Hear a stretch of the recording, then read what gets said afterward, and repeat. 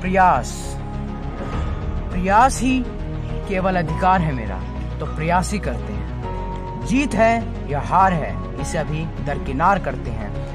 लाभ जैसे शब्द को किनारे रख कर देखते हैं, कार्य को केंद्र पर रख कर देखते हैं। चलो, प्रयास करके देखते हैं। आनंद, लाभ में लेकर देख लिए एक बार। प्रयास को आनंद लेकर देखते हैं। कारण तो यूँ भी कारण तो यूँ भी नहीं, किसी कारण का। फिर क्यों कोई कारण हो? जीवन में सीधी सड़क पर।